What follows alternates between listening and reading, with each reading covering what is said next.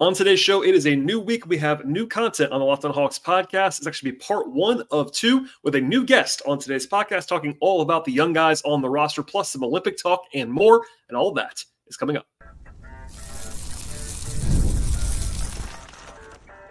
You are Locked on Hawks, your daily Atlanta Hawks podcast, part of the Locked on Podcast Network. Your team every day. Hello, friends. Welcome to episode 1778 of the Locked on Hawks podcast. I am your host, Brad Rowland, coming to you on a Sunday evening here in early August. today's podcast is brought to you by the folks at the Gametime app. Download the Gametime app right now, create an account, and, and then use promo code Locked On NBA for $20 off your first purchase. Terms apply. I also want to encourage you at the top of the podcast, as I always do here at Locked On Hawks, to make us your first listen each and every day. Please check us out and subscribe to the podcast on all the audio platforms you might, that you might enjoy, like Apple and Spotify, as well as Overcast and more. Plus, we are on YouTube, so please like this episode as you are watching it, and also please subscribe to that platform and then enable, enable notifications so you actually know when the podcast is going to be going live on YouTube. And today's show is actually going to be part one of two with myself and a new guest. David Lee will be joining me to talk all about the Hawks' young players and a little bit of Olympic talk at the top of the podcast. We've been very busy on the show in recent days. Last week, I know we're kind of in the dead zone now, but we did six episodes in like six days recently. It's been very busy still talking all about the Hawks roster, what's to come, transaction cycle, talked about Dom Barlow, the newest addition to the Hawks roster, Bruno Fernando moving on to Toronto, and all of that fun stuff in the last couple of days and weeks. But more to come all summer long. And without any further delay, here we go with part one of myself and David Lee. I'm joined now by a first time guest of the podcast. Someone I've been looking forward to talking to for a while. David is joining me at D Lee for three. What's going on, man? Thanks for being here. Man, I'm so happy to be here. I appreciate you reaching out, and it's, it's going good. I mean, I feel like things are finally looking up for the Hawks. It's been a fun summer watching all the young guys soup from summer league to the Olympics. So I'm looking forward to speaking with you today. Yeah, I appreciate it, and uh, I, I, think you'll you probably know this. You get tagged in this stuff, but like anytime people people are like, you, you should have David on. I'm like, yeah, that, that was my plan all along. I was going to yeah. do it, but it's a good time to do it. Uh, we'll talk about some young guys along the way, but uh, we're recording this Sunday night. It's August fourth. Uh, it's actually really topical right now. That wasn't on purpose, but here we are. Uh, the Olympics are happening still. And really, if there was one game that Hawks fans should be watching the entire Olympics, it's probably the one on Tuesday morning.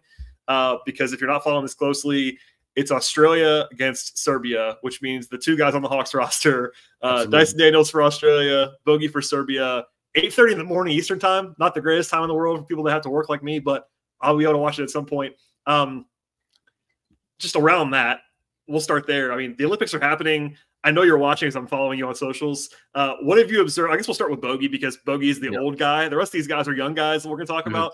Uh, Bogey's been doing Bogey things. He had, he had a monster game over the weekend, but what have you been seeing from him? Is it just kind of the same old Bogey stuff or anything pop out to you? Well, I mean, I think it's really interesting with Bogey because obviously with Dejounte off the roster, there's been a lot of conversations about, okay, where does, where does the shot creation come from? And I think because he's been sort of in that bench role for so long, people sort of forget how gifted he is um, at creating shots, not just for himself, but for others. And I think when he plays with someone like Jokic, you can really see that to its fullest extent. I mean, there were some moments, especially in the game, where he had, by the way, he had 30 points, eight assists, 77% from the field, 92.75, I think, true shooting percentage. Unreal stats, like 30 points on 14 shots.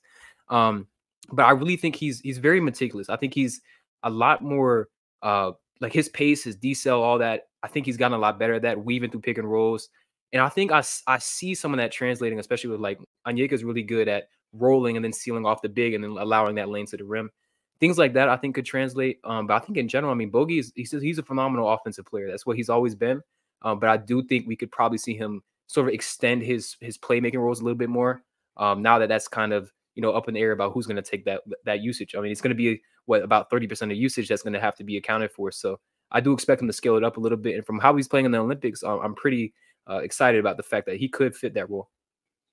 Yeah, I mean, it's, it's worth noting if people don't watch a ton of FIBA, like FIBA and the NBA are not always exactly the same, and right. you know, a lot of guys, a lot of guys scale up, and Bogey's not alone, not alone in that. But it is true, mm-hmm. and you mentioned it, but I always feel like I'm banging this drum, so people are going to think I'm repeating myself. But Bogey just remains perpetually underrated, I think, by a oh, lot yeah. of different people. Um, even people locally, it's kind of like people know he's good that watch the Hawks mm-hmm. every game, but it's like he's just he's just a safety blanket, right? He's he's what he is. But you talk about it, he's the number one perimeter option for Serbia, which allows him to kind of cook in that way. But I think that he he does have a lot of ball skills, a lot of on ball, like a lot of distribution skills that he doesn't always get to show.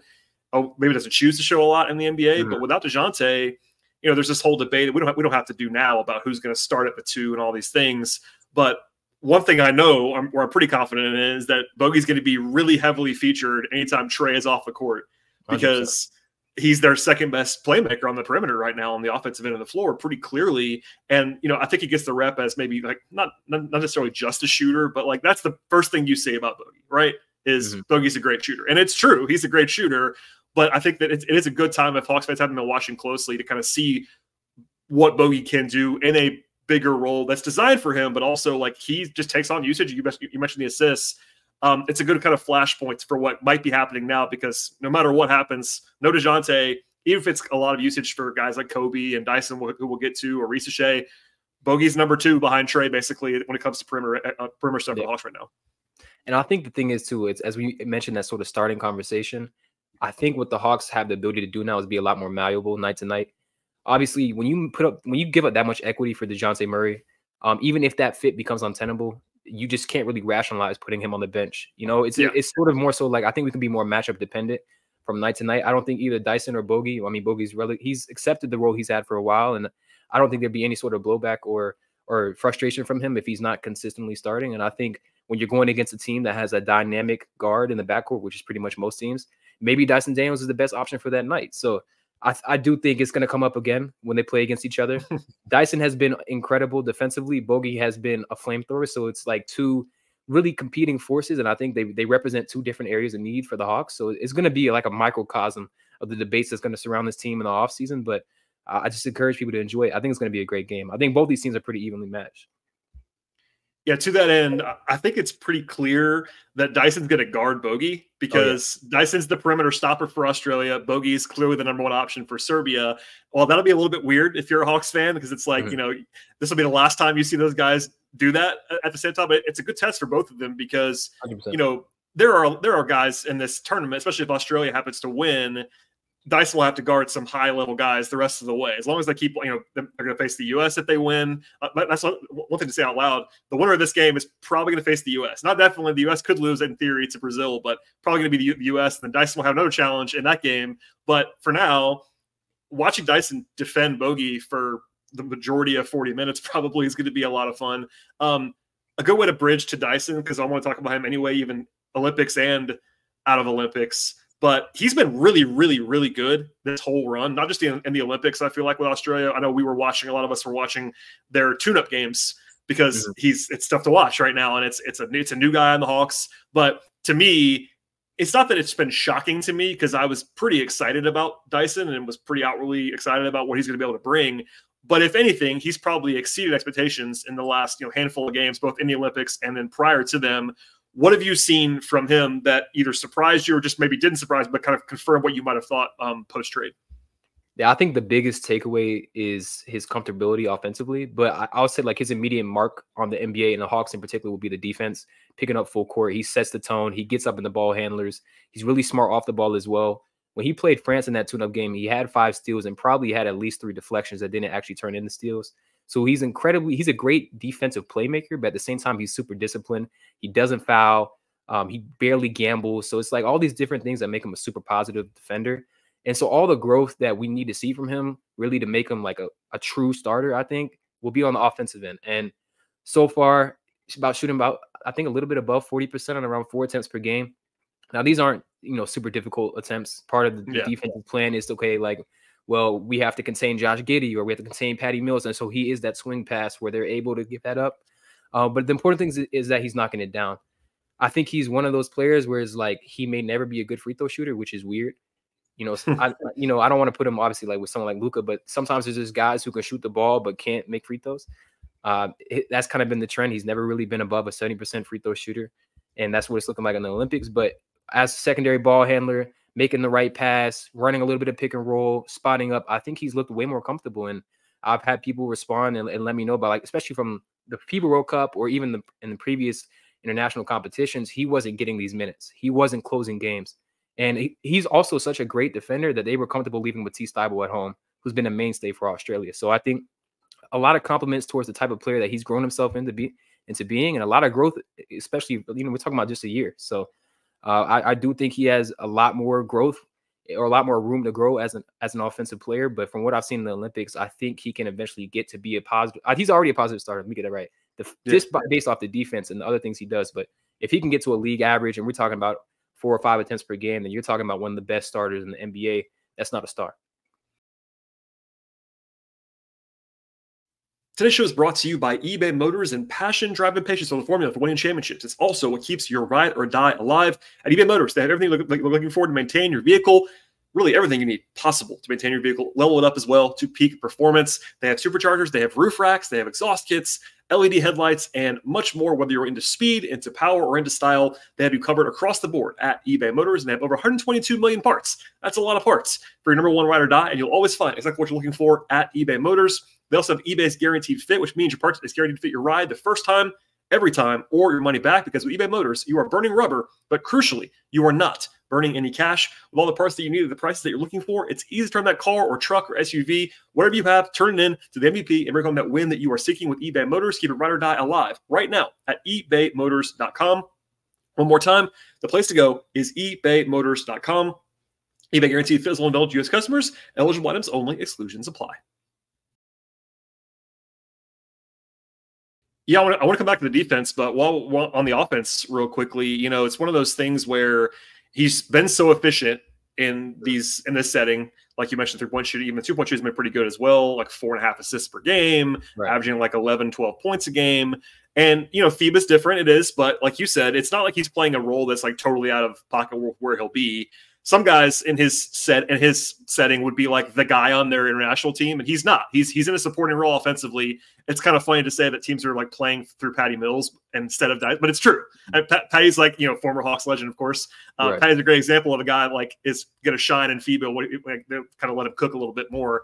But to me, it feels like, and I haven't I will always admit this. I've not watched every minute of Dyson Daniels the way that I have of all these Hawks guys because I've I watched a lot of film since the trade happened, and I watched him before that, but not every minute like I have with Trae or some of these guys. But it seems like he's shooting the ball with confidence, which is really really encouraging.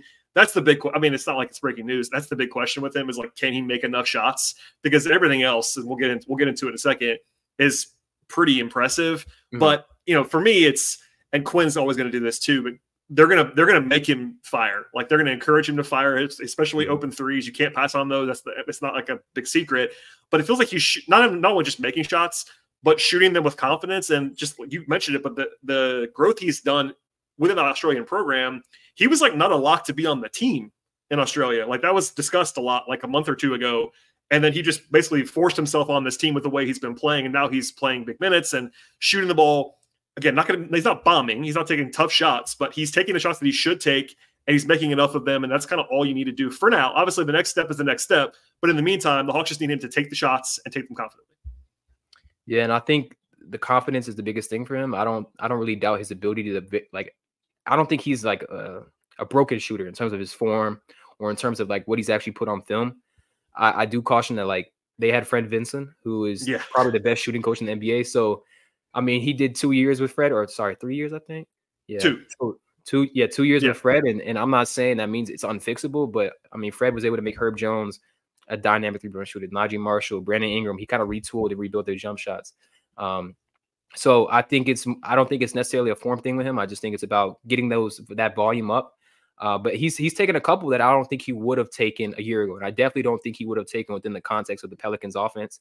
And I also just want to remind people the Pelicans offense was one of the worst spacing wise mm-hmm. of any mm-hmm. team in the NBA. So even if he he is that player that guys would help off of, but it's because they could shrink the floor against that team. So um, I think he's going to have a much easier time getting those shots uh, that he's capable of knocking down in Atlanta. Yeah, and what I would say to like there's been a lot of talk about this, but what's you know He's shot 31% in his career in New Orleans, about the same both years. Not huge volume at all, but not like zero volume. Like it's weird. The way that people talk, some people talk about him is like he's like a total non-shooter. And I, I wouldn't say that. You know what I mean? He's kind of in that middle area where he's not he's not a good shooter. At least he hasn't proven to be a good shooter. But it's not broken and he's taken and he's you know I think it was like five per hundred like that's, that's a pretty low number for a guard but it's not like one for you know he's he's willing to take them right. and I'm glad you mentioned the Fred Vinson thing because like if you want to be skeptical, you probably could be.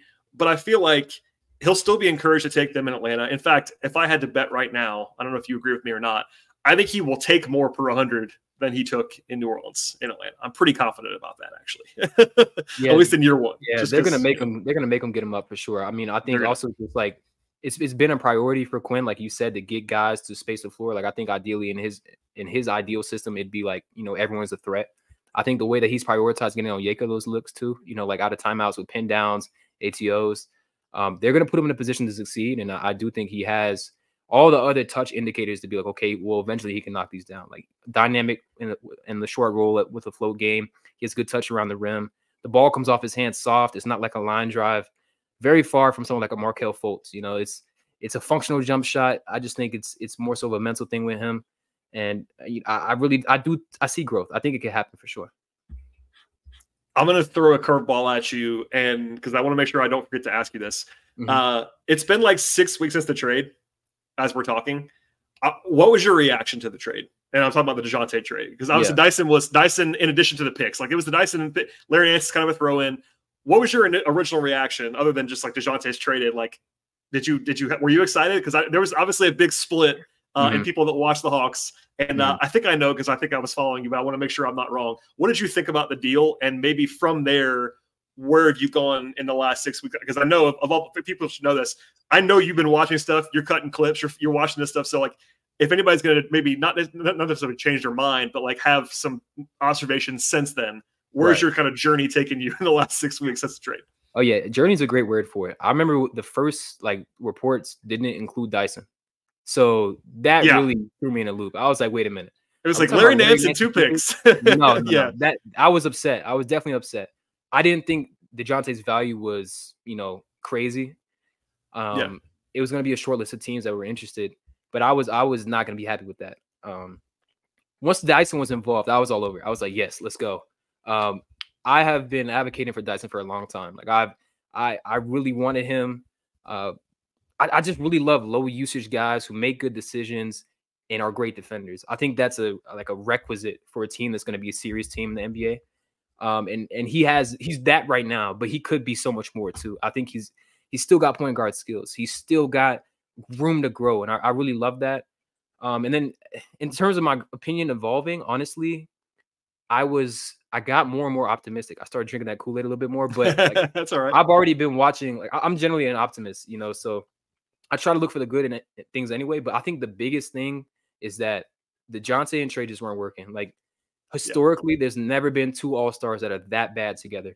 They're one of three duos since I think 2004. I think when I pulled the data that have a negative plus minus with both net, negative net rating with both of them on the floor.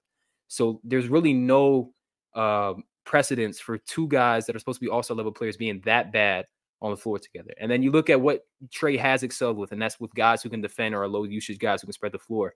And you see that team get informed around him. I do think there's maybe a cap on how much you can play Trae ball, not because like I don't think he's good enough, but I think like eventually you're going to run into a team that's going to throw everything they have at him. So there's still growth that we need from Jalen Johnson. There's still growth we need from Dyson and Kobe Bufkin and all these young guys. Um, but I, just became more and more optimistic, if I'm going to be honest with you, as I as I really dove deep into Dyson. I, I, the Pelicans are one of my favorite teams in the NBA. I love Brandon Ingram. So I would watch them as much as I can anyway. And Dyson was on my list as one of my favorite players as well. But when I looked into the numbers, I looked into how engaged he is on every possession. I looked into like the pride he takes defensively, the precedence he sets defensively. I think he's one of the one of a short list of maybe three guys that I would want as like a long-term backcourt partner next to Trae. And Larry Nance isn't a bum either. You know, like that's no. a really good trade throwing. And then EJ Liddell was also a good trade throwing, which honestly, like I didn't want us to trade him away, but it's all right. yeah, it was no. a great trade. I, I, honestly like I felt better and better as time went on. Yeah, I, you know, I had the same reaction on some level. Like, and I I banged the drum a lot about you know it was just time the trade Dejounte thing, not to rehash it. It just didn't work, and it, and it wasn't going to be fixed. I don't think it's not anybody's fault. It just it just didn't mm-hmm. work. And I also was a big Dyson guy going back to the draft um, two years ago. So like he kind of checks the boxes that I like, and of course as we'll get into now a little bit, actually, you talked about it, but his defense is the is really the we, we love we live with the offense, but his defense is really the of course the appeal. Um, and I, even watching more and more of him, like I already knew he was a good defender. I asked around people in the world that watched him every day, and they're like, "Yeah, defense is legit, no question mm-hmm. about it." The numbers tell, tell that story. All the numbers tell that story defensively. Then you watch him, and it's maybe even better than yep. you think it's going to be. And then you watch him in again. FIBA's different. I'm not going to tell you that FIBA's all all knowing, but he's been great defensively in this in these settings. He's just turning the water off on guys. The mm-hmm. size. You mentioned the partnership with Trae yeah, it'd be great if Dyson's offense could come along a little bit more, but he does have those guard skills. Like that was never really the question with him. But his defense, just to have somebody else on this podcast other than me, and I know Tyler gets is, is, kind of on my side too. I think you are too, but like his defense is really that good, isn't it? I, I know you're watching the film. Tell people that I'm not crazy. His defense is actually that good. Today's show is brought to you by Gametime, and Gametime is an authorized ticket marketplace of Major League Baseball. They help you get your baseball tickets, battle tickets, and anything else you're looking for faster and easier with last minute deals, all in prices, featuring receipts, and the lowest possible price guarantee. Time is a fantastic option for everything across the board when it comes to ticket purchasing. I've been using the app for a long time now. It's come in handy for me many times with Braves tickets or Falcons tickets, etc., plus shows and concerts across the city of Atlanta and beyond. Save big when buying last minute tickets for sports, concerts, comedy, and much more. And they have flash deals as well. You can save big there and even save even more when choosing a section and then letting Gametime choose the seats within that section for you. They have an awesome feature as well that really appeals to me, where you can actually toggle to show the total up front. No surprise fees. You get to the checkout screen at the end. Also get a panoramic view of the seats in the app before you buy them, and you are actually getting the lowest possible price with the folks at Gametime. Take all of the guesswork out of buying tickets with the Gametime app. Download the Gametime app right now, create an account, and then use promo code Locked On for twenty dollars off your first purchase. Terms apply. Again, create that account and use promo code Locked On NBA for twenty dollars off your first purchase at Gametime. Download the Gametime app today. Last minute tickets, lowest price guaranteed. Oh no, you're absolutely not crazy. I think he has as like the best perimeter defender in the NBA, and I don't say that jokingly. I, I think he's that talented. I think he's that strong. Um, if you go and watch him play against LeBron and see how he's able to withstand those body bumps, and then go watch him play against a dynamic guard to see how he shuffles his feet.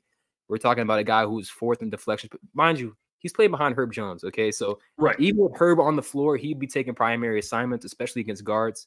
Um, he's fourth in deflections per 75 possessions last season. He's third in steals per 75. He contested 34% of shots at the rim while he was on the floor. He's in the 88th to 96th percentile in advanced stats defensively. I, I generally think he is one of the best defenders in the NBA. And that was in a very low usage role as well. Like, and I mean that in terms of minutes, and that's why I'm using per 75 possessions. But yeah, yeah, you're not crazy at all. The Hawks finally got them someone who's going to take pride defensively. So I guess my question for you is, I've gotten this question as well. I don't really know how to feel about it, but do you think he's a culture changer. You know, obviously with a young guy, that'd be a lot to ask for him to come in and be like, okay, let's get everyone else to play defense. Yeah. The Hawks themselves don't have great defensive culture, but do you think he can come in and sort of set that tone and guys will sort of follow that lead? Or do you think he might be, by, you know, by himself in some moments out there? Yeah, I think it's it's a good point. Like I hesitate to put that on a 21 year old. You know what yeah. I mean?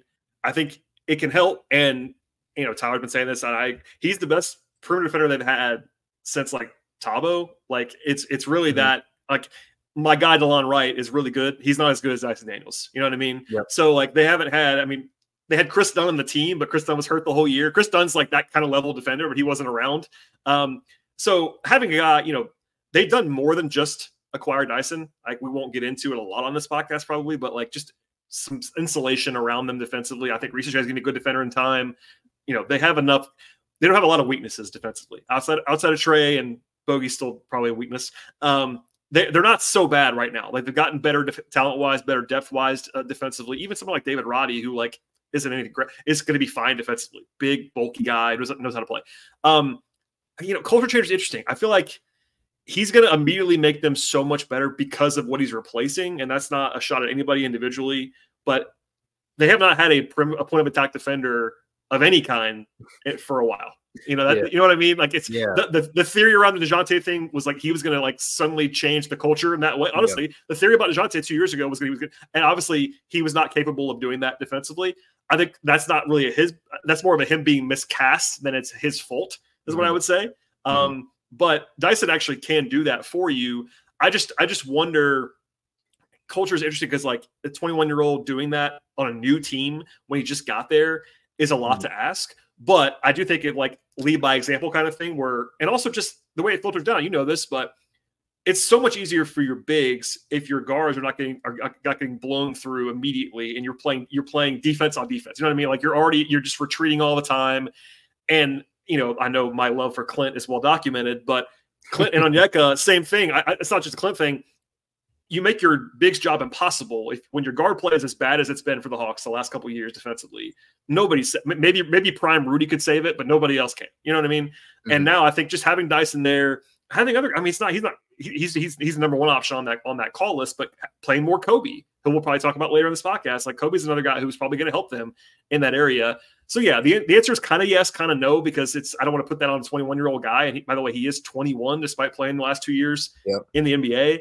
But yeah, I'm really, really, really encouraged by it. And I feel like if he starts and plays 30 minutes a game, which isn't like a total lock, but is certainly possible, he could be like all defensive team level like as soon as this this year next year. Granted you probably have to have your team success which mm-hmm. i hate that just as a sidebar. I hate the fact that like people are not smart enough to differentiate between team and individual stuff on this but you know but you know I'm, you're laughing because you know i'm right. Like yeah. unless you're unless you're like unless you already have the rep your defense has to your team your team has to be good defensively or you won't get the attention but i feel like he's kind of already there for people that watch a lot of stuff. I think like you said his impact there's a chance that he improves us so much defensively maybe right when we finish what 27th or 28th there's yeah, a chance he moves us up he moves us up to you know that middle of the pack. Um, and i think what you said about the supporting cast around him that sort of insulates his defensive capabilities and also complements him a lot better a lot of length a lot of versatility. I think dyson comes in and immediately makes you know even you know clint Capela's drop coverage a little bit more viable because he can oh, get yeah. over those screens. So it's like the hawks had to rely a lot on blitz on blitzing more aggressive coverages which require people rotating on the backside you're asking Bogey to rotate, which he wasn't always doing, or Trae as a low man, or Saddiq Bey as a low Saddiq man. Bey. Yeah. Yeah. And, and particularly in Saddiq Bey, was a lot of issues with him, but it, it was a, a, big change for a lot of guys on the roster. Um, I mean, even I think last year, Trae showed a lot of effort defensively, especially when it mattered most. Uh, I do think, you know, him doing that more consistently probably does help a little bit more than Dyson doing it. But I mean, 100% agree. I think he has a chance to make all, all defensive team next year, 100%. Um, but I think most importantly, he just unlocks a lot of versatility for the Hawks and all the other moves they've made to complement it. Um, we're in a much more versatile position than we were last season. I think that's the most important thing. We were locked into one style of play really on both ends. And yeah, it's a lot more different things that I think Quinn can do with this roster. No, I totally agree. And just the not to beat this drum too much, but the lack of guys who you have to be terrified about defensively um, and just more depth. I mean, we've covered that ad nauseum. I know you have in your content too. Mm-hmm. Like they just have more depth across, the, and also they're also bigger. And that's one thing that um, and you were in some of his press some of his press conferences too. One of the only things Quinn's candid about ever is that he he, he kept saying last year that like how small they were, like in not not like that in that direct of a way, but he'd make these little comments about how they were small basically. Yeah. Uh, um, in the front court, and out of necessity. And you know, I, am not someone that believes that you have to have certain size at every position. Like there's this whole you have to have a seven foot center. It's like, well, no, you don't have to. But when you're so small at every single front court spot, mm. it puts you in a bad spot. Like when Saddiq's trying to, you know, Saddiq's six um, as big as he is, thickness wise, he's six seven. He's playing a power forward spot. He can't really rotate and do all. You know, you're playing as small as they were. Vit's playing small forward. They're playing Wes Matthews at the four, and they're just bigger across the board now. Add Risacher, who I know is really thin, but he's obviously really long compared to mm what they had before. Anyway, um, Dyson's the head of that though, so it, I, I, don't want to ever, ever put on one guy to be like, okay, it's your job to take us from 27th to 18th defensively, but mm. truly, he's the kind of guy that could make you. You know, it's obviously a rough, but like a five, six, seven, eight spot jump just by himself. If he's playing 70, 70 games of 30 minutes a night, the gap between him and what they had before, it cannot be overstated defensively how big that gap is. And you know, offensively, you got you got to fill Dejounte's shoes. That's not a small thing.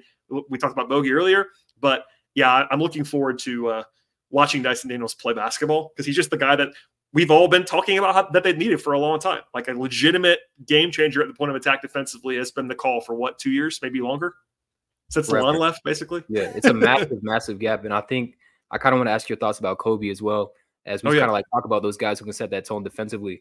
I, when I was at games, I would find myself on the defense when just gravita- gravitating towards him, and like I had like a three minute clip of me just recording him defensively, all the little things he does, like stunning at the defender, sort of like using his leverage, moving his feet.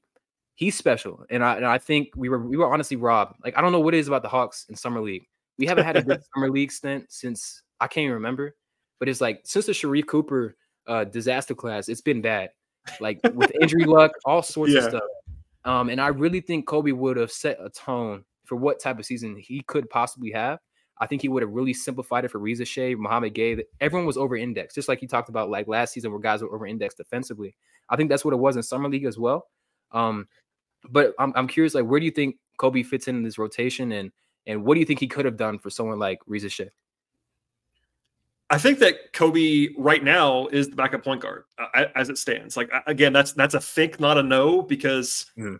it's hard to get intel stuff in July and August about the team because they're they're not gonna they're not they haven't practiced together yet. All that stuff. Like people are really really really eager to like write their depth chart out and be like, all right, this is what's going to happen. I, I have my guesses, you know, uh, but I, am not going to be as firm with stuff until I have heard it from a coach or heard it from somebody that's around. But I think logically on the roster right now, like he, he's the backup point guard. I mean, maybe be Dyson a little bit. You, you mentioned him earlier in this conversation. Dyson got some point guard skills. I'm, I think if you played Dyson and Bogey together, that would work. Yeah. But Dyson alone to run the offense is not quite what I would mm. want to do. Um, but on Kobe, I think we all were really impressed defensively. I mean, he, you know, that College Park churn, you know, of um, in a good way. I was really impressed by that because you know I, I remember uh, you're you're you're a lot younger than I am. I remember when the Hawks very number one didn't have a G League team. Then they had the partnership with Erie, and the guys were so far away. And it's like light and day, night and day now with like how much they prioritize College Park. And last year was like the shining example of that. Vit Krejci, of course, mm-hmm. is the biggest example probably. But Kobe going from where Kobe, and look, Kobe was already going to be a good defender, I think, coming out of college. He had the tools for it. But him, because of College Park, hitting the ground running at the NBA level and being able to defend at a, I would I would call it good level, mm-hmm. even as a rookie. And yeah, guard, small guard, all that stuff, but he's not that small. Number one, but yeah, I think he's he's not quite on the level of Dyson as a prospect defensively. But I do think that he can be, especially if he's playing point guard, strongly above average defensively, and he he also works really hard. He played really hard. You you mentioned it too, but like his screen navigation was really good as a rookie. He'll he'll get up into you. He's not afraid of that. He'll get beat, which is a good. Like he's not afraid to get beat. Is what I should say. Like yeah. he's not going to play off you because he's worried about you beating him. Um, by the way, I, Kobe, I know I'm a Michigan guy, but this is independent of that. Kobe's culture stuff is fantastic. Like the Hawks love him as a guy, as like a guy, you know, makeup wise, on mm. court, off court and that shows up defensively because I don't think he has the how do I put this? I don't think he has like the top 20 NBA draft pick ego to him. Everybody's got an ego. Don't get me wrong. All these guys have egos. They have to get to this point. But like, I don't think he's like, I'm the guy on offense kind of guy. You know, like I think he's like, I'll do whatever the team got to win kind of guy, which is by the way, Risacher is the same way as we'll get into in a second. But I feel like Kobe's going to be good defensively, and then it's it's it's definitely a TBD offensively right now and I, will be honest about that. Even as someone who liked that draft pick a lot, um, he didn't play enough last year to really know on mm-hmm. offense in particular. And when he was playing, he was playing mostly with Trae or with Dejounte or with Trent Forrest, and he wasn't like the guy on at point guard. And that's the big TBD. And is the shot going to go in and all that stuff? But I think the finishing's legit, etc. Um, I mean, what do you what do you think? Because I feel like I'm excited to watch Kobe hopefully be healthy. I mean, he had the shoulder subluxation this summer that you talked about with summer league. Uh, by the end of summer league, it was pretty dire in Las Vegas. I have to say, like that that third, fourth, fifth game was tough. Um, but all signs point to Kobe being back and being ready to go. So, like, are you as excited as I am? Because I'm pretty excited to watch him yeah. in a setting that means something, provided he's like a knock on wood, provided he's healthy. Yeah. So, I mean, like you said, you're a Michigan guy, so I watched a good amount of tape. Um, but he was just by the numbers. I mean, he was one of four prospects in that class to shoot higher than 70% at the rim, 40% yep. in the paint, 35% from mid range, and 30% from three. But a lot of his rim attempts were self-generated, like less than 25% mm-hmm. were were assisted. So he's shown ability to get downhill. He's shown ability to finish. I don't think he's shown on the NBA level yet. And I think some of that is physicality, some of that is comfortability. Like you said, um, he he missed the vast majority of his year, you know, um, with various injuries. I think a lot of guys are like quick to label Hawks players as injury prone or like we have something wrong with the medical staff. I, I wouldn't go there. Um, but I do think it's it's a, an important season from him because I think Keaton Wallace is also you know a, a great signing for the Hawks because he has yeah. that sort of experience in the G League. I think he's a mature guard. Um, I think you could see that he's not again, you probably want Bogey on the floor with even someone like Keaton Wallace because you know in the summer league he wasn't able to consistently generate shots for guys, but I think he can step in. You know if there's if there's a minutes needed or if, if uh, Kobe needs some more support. Um, but yeah, I'm, I'm absolutely excited for him. I think the Hawks kind of have like a two headed goat with like Dyson Daniels and, and Kobe Bufkin in terms of guys who can like sort of oscillate between these different roles, but also give you some real like resistance at the defensive end. I think you know. Yeah. If, if need be, you could roll out both of them and really cause havoc. And you know they're going to get after it. They're they're kind of like both have like that pit bull mentality where I think they're really just going to get up in the people. So, I mean, I, I think there's a shift with with what the Hawks are doing. They get a little bit younger, but um, I, I, love it. I, I, love to see. I would love to see Kobe get the t- sort of like opportunity I think he needs to grow into the player that I think he can be, and I think that means him being the backup point guard. All right, that is it for part one of this two part conversation with myself and David. We have more to come. Part two should be available in your same podcast feed of choice right now, whether it be Apple or Spotify, Overcast, also on YouTube. Please go ahead and subscribe to this podcast. Tell your friends, leave five star ratings and reviews. Also, follow the show on Twitter slash X at Locked On Hawks. Follow me there at BT Rowland, and then check out my non podcast work at patreon.com slash BT Roll. I do appreciate everyone listening to the podcast. Part two is available right now in the same podcast feed, and we'll see you all next time.